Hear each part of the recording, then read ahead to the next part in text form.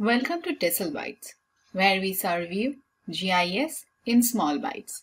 Today, we will discuss one of the spatial interpolation techniques, IDW, that is Inverse Distance Weighting, in ArcGIS Pro.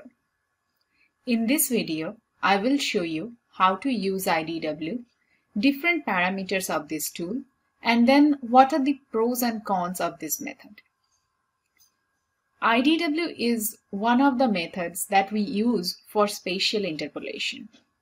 We use spatial interpolation to determine a value for a location where we do not have a specific value, but we have sample points nearby. We try to interpolate values from known points to unknown points.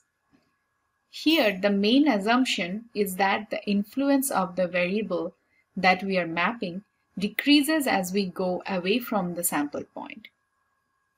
This method puts a higher power value or more emphasis on the nearest points. Nearest points therefore have the most influence from the sample points. Here we have a point data. This was created in a previous exercise by random sampling from a DEM data. To learn more about random sampling, please see the link in the description below. Now to run IDW, go to Analysis, Tools, Toolboxes, Spatial Analyst Tools, Interpolation, and select IDW.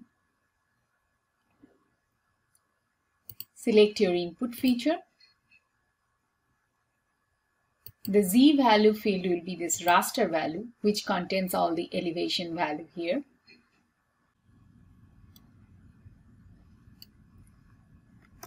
Once you have selected your input and output, let's see the other parameters.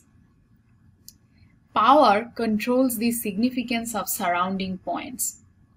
That means if we assign higher power, there will be less influence by distant points then we will have a map with many bullseye points. However, lower power will ensure more influence by distant points. We have to find a balance between these two. Next is radius. We can keep it variable or fixed. If there are more than one input points nearby with a fixed radius, it will decide which one to consider to determine the value. If we select variable that specify a distance, but here you can specify number of points to use. For power and radius, there is no rule. Usually I go with the default first. Now what would be the best? It varies from case to case. Let's hit run and see our result.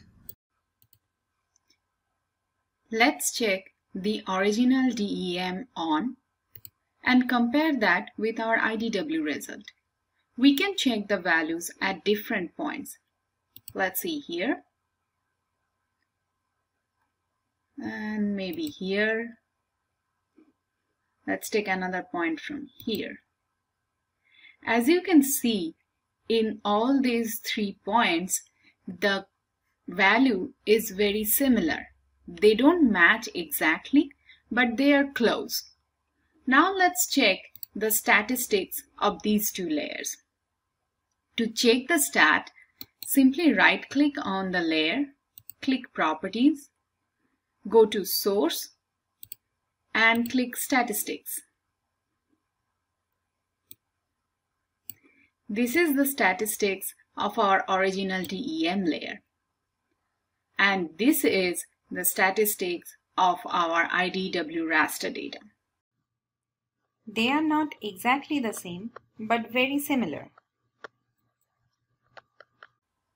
So I think the IDW interpolation process ran perfectly here.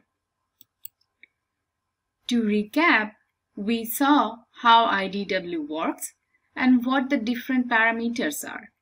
Remember, IDW works best with fairly dense measurements and if the landscape does not show much drastic changes.